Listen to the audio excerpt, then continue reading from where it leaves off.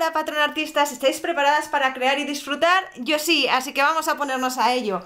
Eh, como veis, aquí tenemos dos rectángulos. Este vídeo llevo queriendo grabarlo, eh, no sé el tiempo, muchísimo. Lo he probado de mil maneras. ¿Por qué? Porque lo que vamos a hacer hoy es a partir de dos rectángulos vamos a hacer un poncho.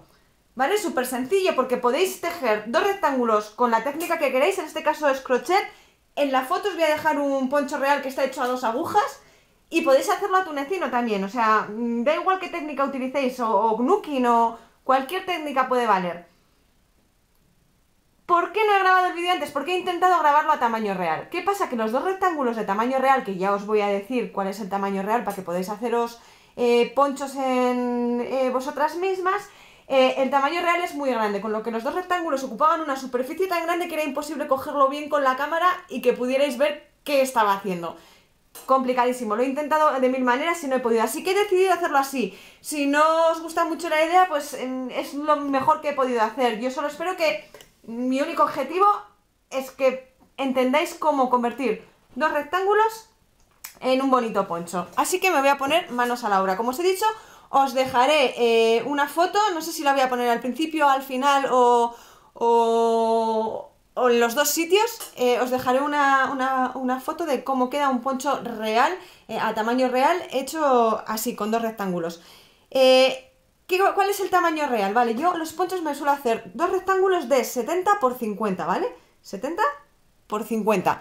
podéis hacerlos más pequeños, de 60 por 40 también quedan bien. Si es para un niño pues, o una niña, mm, calculáis un poquito, ya veis que, la diferencia en el caso de los adultos son unos 20 centímetros entre el ancho y el largo, pues en, los niños dejad más o menos lo mismo. Lo importante es que vaya a caber la cabeza por el agujerito y cuando veáis eh, cómo se hace, mm, os daréis cuenta enseguida de, lo fácil que es calcularlo, ¿vale? Entonces, ¿qué es lo que tenemos? Dos rectángulos. ¿Cómo los tenemos que colocar para poder em, hacer nuestro bonito poncho? Bueno, primero quiero enseñaros el punto, ¿vale? Este punto no lo hemos explicado, pero es muy parecido al que hicimos el otro día, el punto enano revés de crochet, ¿vale? Lo que pasa que está tejido eh, con puntos altos. Si queréis que prepare un tutorial con este punto específico, dejádmelo abajo en los comentarios y lo prepararé. Eh, como veis, tenemos los dos rectángulos, lo que tenemos que hacer es colocarlos, vamos a poner eh, de frente los dos reveses, o sea, los dos derechos. Y lo que vamos a hacer es poner uno en posición vertical y el otro lo vamos a poner en posición horizontal. Procurad que las hebras que hemos dejado después de tejer así larguitas os queden en la dirección que necesitéis para tejerlo. Calculáis un poquito y listo. Y si no han quedado no pasa nada, se añade y ya está. En este caso lo mejor es que nos queden o aquí o aquí las hebras. Y en el caso de esta pieza lo mejor es que nos queden aquí o aquí. ¿Vale? Bueno, pues ya lo tenemos. Lo colocamos así. ¿Qué haremos ahora? Ahora tomaremos nuestra aguja lanera. Ya veis que yo lo he hecho con dos hebras, por eso tengo dos hebras, ¿vale? Porque me encanta esta combinación de, colores y dije, mm, lo voy a hacer con dos hebras. Además así me costaba menos rato hacer la muestra porque quedaba más gruesa y la verdad es que queda súper bonito. De hecho estoy pensando en hacerme algo con esta combinación de colores. Vale, eh, lo dicho, los enfrentamos así.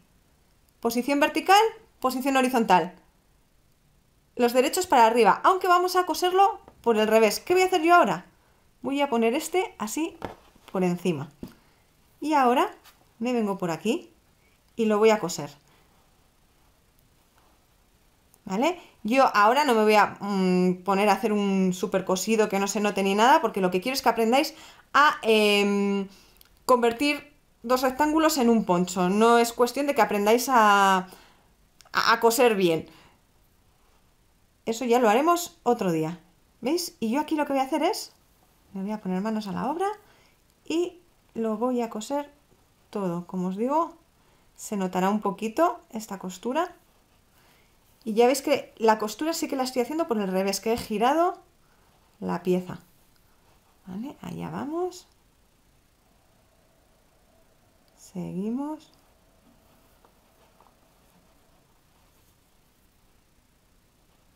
Hasta llegar al final. ¿No creéis que el cosido que hice al poncho que veréis que lo hice hace muchísimos años, por lo menos tiene 5 o 6 años ese poncho que de la foto. No creéis que le hice un cosido mucho muy diferente a este. Solo que pues le puse un poquito más de cuidado. Cuando llego al final, yo lo que suelo hacer es vuelvo un poco hacia atrás. ¿Vale? Así. Y le hago así un nudito para que no se deshaga. Y como soy una desconfiada y no me fío de que se me deshaga, vuelvo a ir un poquito más para atrás y vuelvo a hacer un nudito y ahí otro nudito parece que como es el revés no se va a notar y no tengo problema aquí cortaría la no voy a cortarlo muy al ras ahora porque luego querré aprovechar estas nenas ya tenemos nuestra primera parte como veis ya tenemos aquí unido nuestros dos rectángulos. ¿Qué tenemos que hacer ahora? Ahora es cuando viene la parte un poco eh, más complicada. Bueno, yo aquí he dejado un trocito por si luego me animaba a hacer un borde o a explicaros cómo podéis hacer después un borde. Eh, ya veré a ver lo que hacemos o si eso lo dejamos para otro día. Depende de lo largo que vaya quedando el vídeo. Bueno, ya tenemos nuestra primera parte aquí cosida. ¿Qué vamos a hacer ahora? Como decíamos, esta esquina, ¿la veis? Nos la vamos a llevar hasta la esquina del otro rectángulo.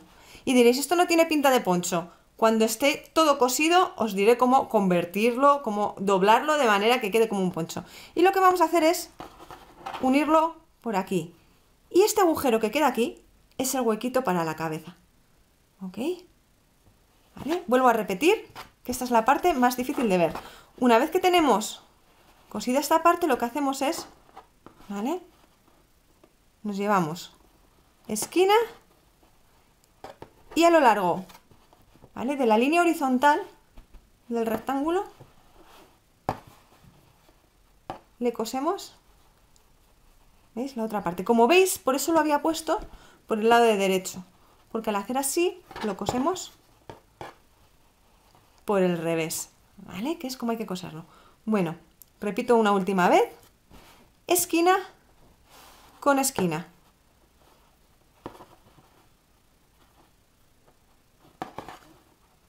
Y ahora, lo mismo que hemos hecho antes, vamos a enhebrar la aguja. Me encantan estas agujas con el cablecito, no sé si se aprecia el cablecito que tiene ahí, porque permiten eh, enhebrar muy fácil lanas gruesas. Pero hay que acostumbrarse a usarlas. Yo la primera vez que lo usé dije, esto no sirve para nada. ¿Por qué? Porque se me escapaba así todo el tiempo. Una vez que se coge, hay que asegurarse de amarrar bien las hebras. ¿Vale? Y nos vamos a poner, como hemos dicho, a coser. Igual que antes, no voy a hacer un super cosido porque de aquí no va a salir un poncho real, al menos que se lo regale alguna niña o niño para sus muñecos. Ahí vamos. Y lo vamos llevando así a su lugar para que quede bien cosido.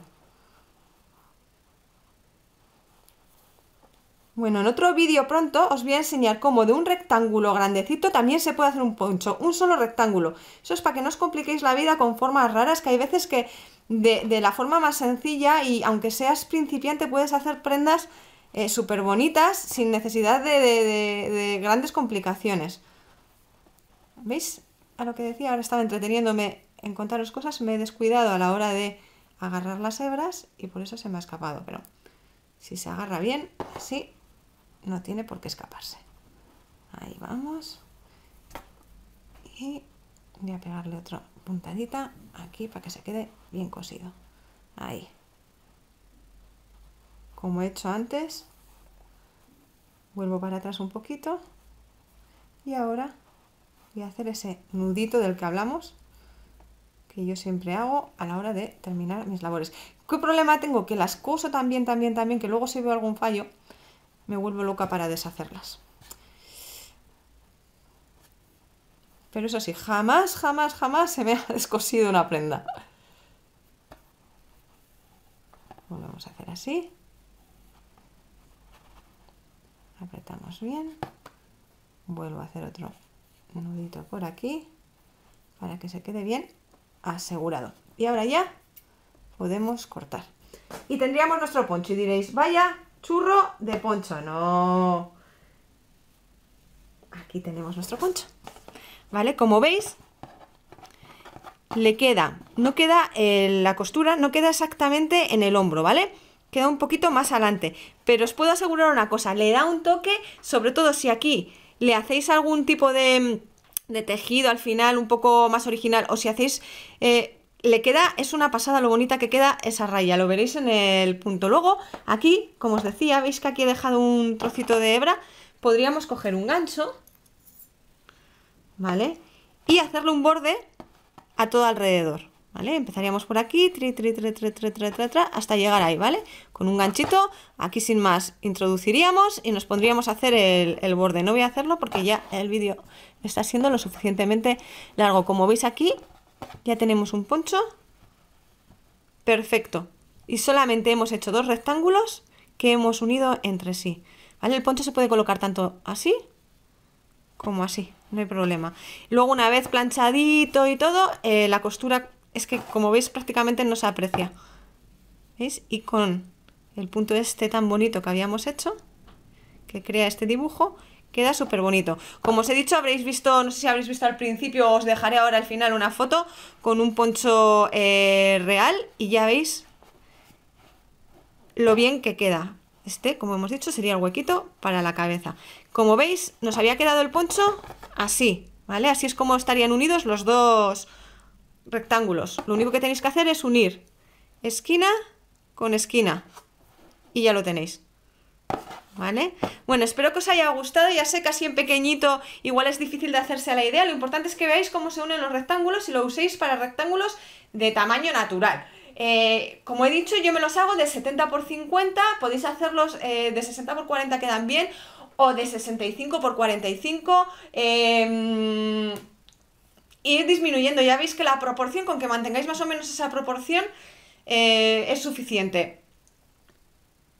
Así que espero que os haya gustado. Ya sabéis que en www.patronarte.com eh, barra tutoriales en el blog os dejo todas las instrucciones por escritos. En www.patronarte.com sin el tutoriales ni nada, simplemente www.patronarte.com está la tienda online donde podréis adquirir todos los materiales que, veis en, en el canal.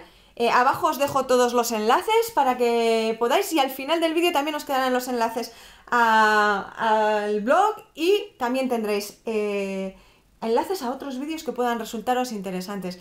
Y esto es todo, no olvidéis de suscribiros, eh, no os olvidéis de suscribiros.